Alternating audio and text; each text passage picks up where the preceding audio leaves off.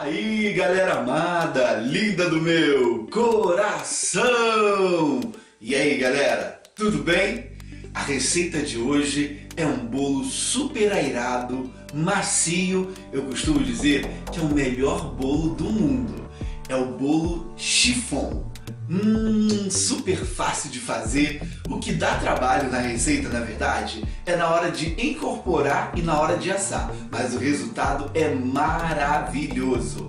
Fica super airado. Gostou? Então, vem comigo para essa receita porque é muito fácil.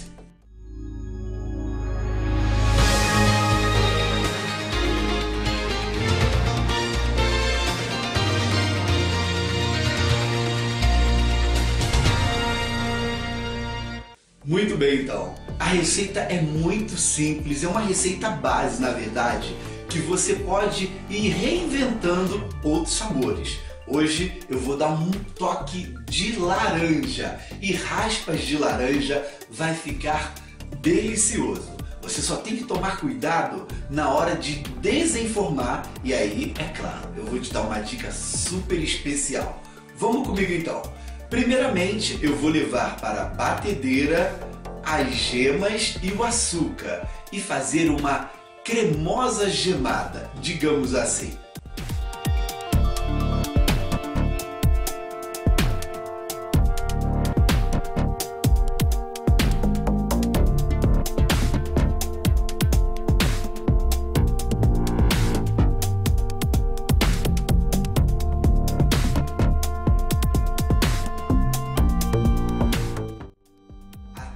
Dobrar de volume. Dobrou de volume? Agora eu ainda continuo com a minha batedeira ligada e já vou separando os secos, que é a farinha, o fermento, o amido, mas não pode ficar muito tempo reservado. Sempre que você for fazer um bolo, é muito legal você separar os secos de imediato para poder utilizar, porque senão não vai adiantar nada você peneirar, vai acabar umedecendo e aí ó, não adiantou nada. Então, sempre que separar os secos, for peneirar, use logo de imediato.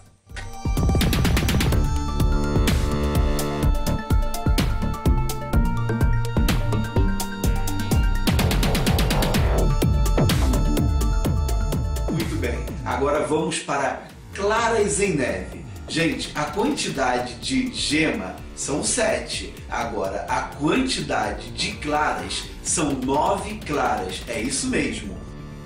9 claras.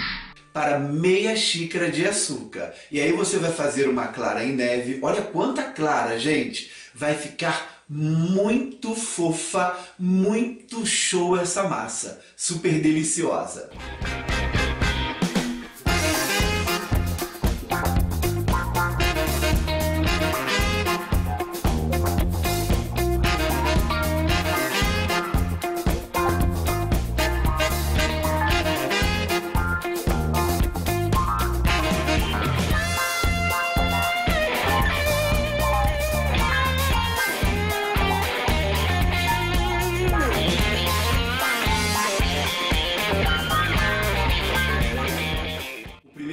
Passo é pegar essa gemada e ir misturando sempre alternando.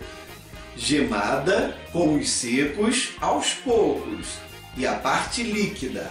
E depois que isso tudo tiver bem incorporado, eu estou aqui mexendo com um fouet, que é um batedor de arame. Mas se você não tiver, pode ser também uma colher de pau, tá bom? E logo no finalzinho eu vou alternar com um pouquinho de claras em neves e depois vou misturar toda essa receita nas claras em neve.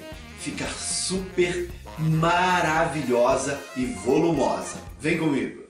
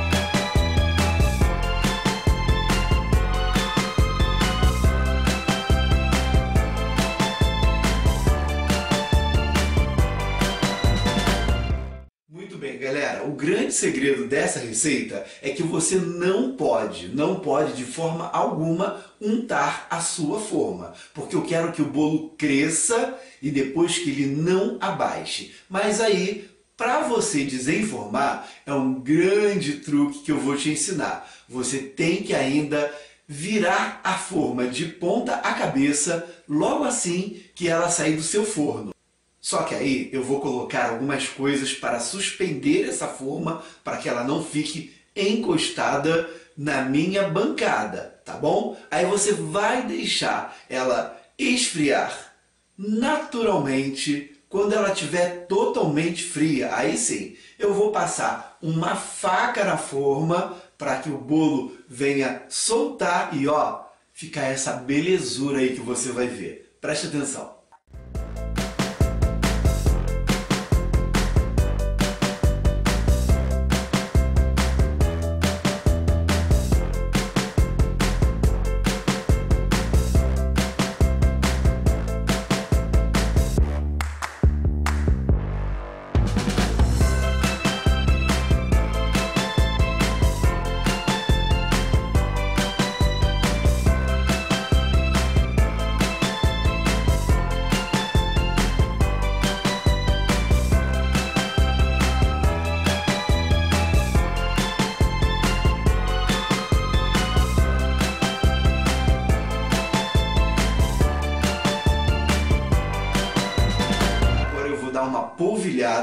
De açúcar de confeiteiro e se você quiser fazer uma decoração com raspas de laranja, fiquem à vontade.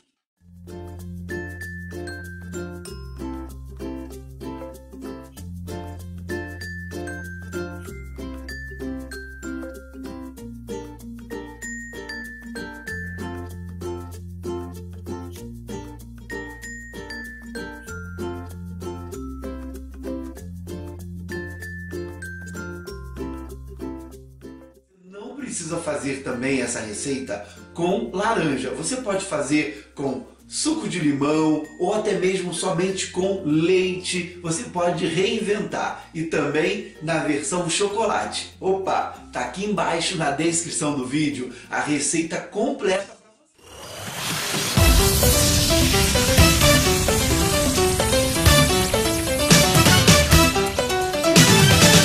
shake your body, baby, do that conga. No, you can't control yourself any longer. Come on, shake your body, baby, do that conga. No, you can't control yourself any longer. Come on, shake your body, baby, do that conga. No, you can't control yourself any longer. Feel the rhythm of the music getting stronger. Don't you fight it till you try to do that conga beat.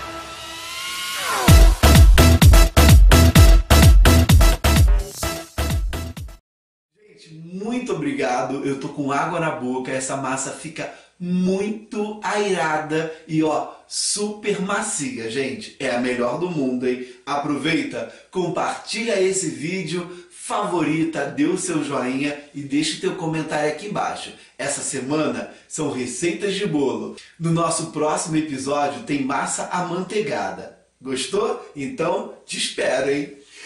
Um beijo bem grandão no coração. Papai do céu te abençoe e fica com Deus. Até o próximo vídeo. Tchau, galera.